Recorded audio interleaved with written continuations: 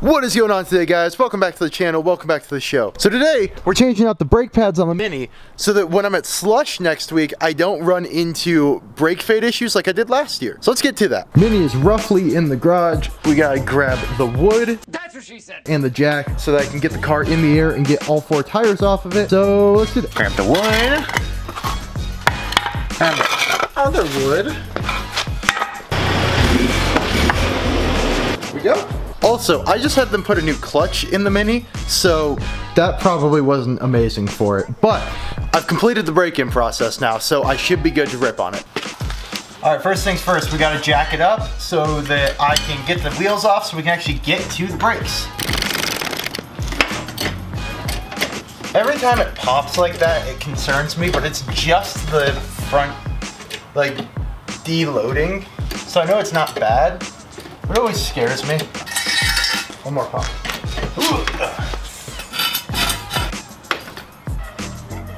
Sweet. Okay, I got it in the air. Now I gotta remove the tires. Taking the wheels off should be a fairly simple process. I just gotta do something like like that. I wish it was that easy in real life. Okay, first off we're doing pads just because I want to do pads first. I'm using EBC yellows now as my new choice. So let's break into these and replace the front. First thing I gotta do is turn the wheel so I can actually get better access. Oh, it's so much easier to do when it's in the air. Okay, with it all cranked like that, you can actually see I now have much better access to everything back here. That is disgusting in there. Okay, so I'm following the Haynes video, and they say to lever the caliper outwards slightly. Um, mine doesn't seem to want to do that. Okay, got some pliers, so this should helpfully let me get this out. Cool, that's out, that's important. Now I can get in here with a crowbar, maybe. How did they do that in the video again? So they took screwdriver, I don't even know what they did. There we go creating a little bit of access. Okay, so I have to get this off of here and it doesn't want to come off. And I don't know why. Oh, bump the camera. Sorry about that, folks. There we go. That's unclipped. Wear sensors out of the way. So I was able to wedge it in so I can get some space. And now I gotta undo a bolt down here, which means I have to go figure out what size wrenches I need. Oh, oh. Make sure the toolkit is latched and then take the toolkit. Oh, toolkit. So that's the bolt I need. Okay, I figured out how to unstick the bolt. It's a little unprofessional, but step on it. Ugh.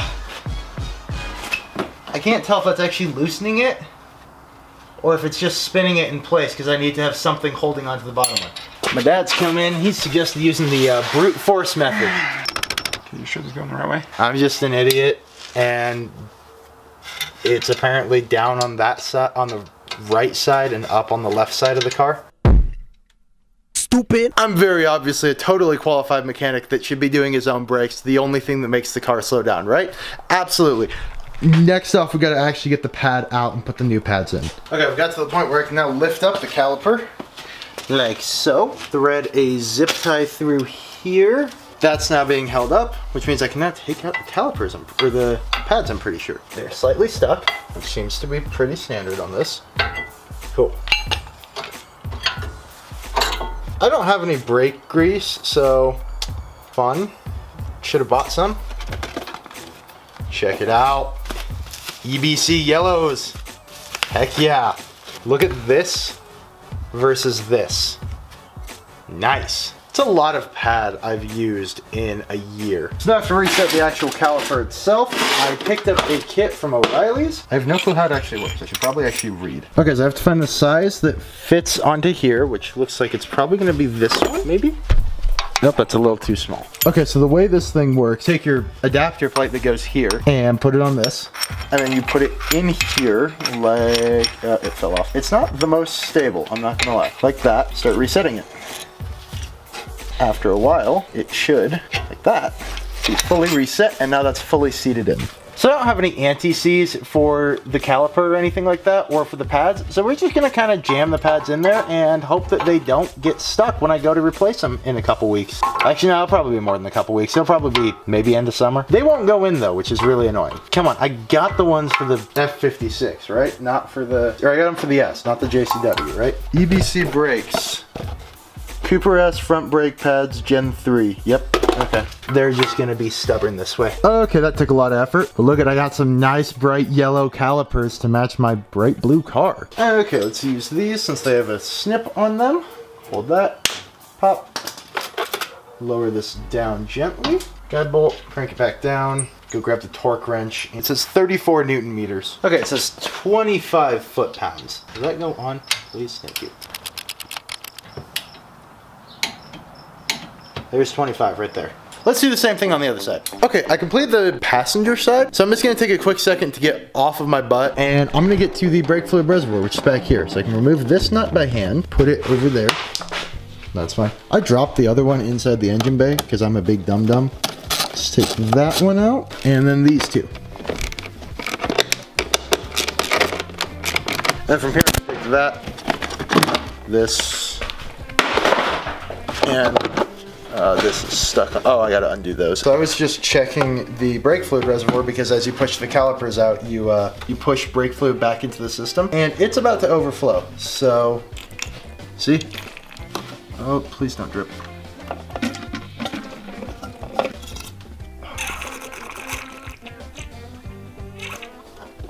There we go. That should be good now to not cause too many issues. I'm gonna put the cap back on that.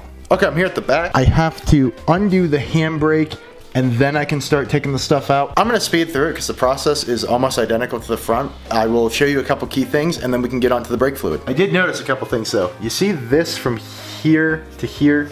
that kind of looks like a brake pad and there's another one right there and another one right there and another one right there. Oh, and there's the bad one right there. Yeah, that's what happens when you clamp down your handbrake when your brakes are still hot after flooring it through the mountains or that one's probably from the racetrack. Don't do that. That's really not good for your brakes. Uh, that will cause issues. I can actually feel uneven pad transfer. Okay, I got the rear caliper off. Ah, this one does have the anti or the anti-rattle shims. Interesting. The other one had the shims built in. So, neat. Here's your front. Here's your back. That was really easy. Okay, this was a weird one to reset because it needs to rotate itself inwards as it resets. So you see how that rotates in as it goes down? That's the whole reason. Ooh, wait, hold up. That ain't right. Okay. I'm gonna see if I can loosen this outwards. There we go. The uh, caliper sleeve kind of locked in over itself as you guys saw. Well, that's cranked all the way down. All right, rear pads are done. The only difficult part was getting the handbrake clip disconnected and I couldn't film it because I couldn't get the camera in a good angle. I'm gonna double check this, make sure I didn't overflow that. We gotta do one more and then we can actually get to pumping the brakes. Brakes are done, so now we can do the brake fluid. And why won't the lid come off? There we go. First, I got to empty out as much of the fluid out of the reservoir as possible. Suck as much of that out as possible. I bought a brand new turkey baster for this because, um, yeah, I didn't want to be using one that we would then later use for kitchen stuff. Shut some back in but it's fine. Put this back on. Okay, so I got Motul RBF 600. Um, I wanted to go with 660, but it doesn't last as long on the street, and at the end of the day, this still is a street car. I'm gonna take this, I'm gonna put like three or so into the uh, power bleeder and then pressurize it. Look how clear that is compared to the fluid that was coming out that was like yellow. Shows you how much I boiled the old fluid. Okay, I'm gonna put two more of those in and then we can start pressurizing. Okay, top back off the brake fluid reservoir. Now I'm gonna crank this down and pressurize it to about 15 psi. So it's got this little handy gauge on the front. Okay, 12 psi. Cool. So what you do is you come over here, your brake bleeder valve is going to be covered by a little grommet to prevent it from getting nasty, which is nice. Cover it with your fluid catch thing, break it loose. So you see fluid that's that dark yellow color coming out. Just let that sit for a while until clear fluid starts coming out.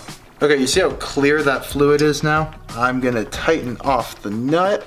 I'm gonna put on my glove just for safety reasons. Kink it, so you're gonna drop a little bit. Mmm, that splashed on my face. And let it drain in. Perfect. See how black that is? I'm gonna go wash my face. I don't want any of this on me. Okay, we're gonna do that corner, that one, and then the one closest. And then that should be good. We might need to refill the brake or the fluid reservoir, the um, power bleeder. Major issue, big major issue. The brake fluid ate through the bottle we were using to store it. Um, it also now really smells in here, which is why I was opening up the garage door. That is uh, not good at all. All right, I think we got it fully bled out. I'm gonna put the wheels back on and we're gonna take it out on a test ride and I think it should be good. We'll see. Well, it made it out of the garage all right. I'm gonna take it out around and we're gonna see if it actually stops. Just getting out of the garage, I could feel it was a lot grabbier than it normally is. However, I can't tell if that's due to the brake pads or due to the brake fluid. Probably the pads. I'm taking it out around the neighborhood real quick just so that I can see if anything went wrong. I'd like to actually see myself too. Um, I'm gonna see if anything went wrong. Just gonna take it around the neighborhood real quick. I took it around the block and it didn't have any issues. The one thing I do notice though is that's the same amount of braking I would use to barely come to a stop before. So these new pads, I don't know if there's either a lot more pad material or if it's the specific braking coating on them or what, but we'll see. Okay, so I never actually finished that video because it got dark like long before we got home. Um, brake job went well. I have actually since taken the car to the track and it worked flawlessly, surprisingly, especially considering how bad I was doing that. But yeah, I hope you guys enjoyed the video. If you did, please make sure to like, comment, subscribe, and until next time, a goodbye.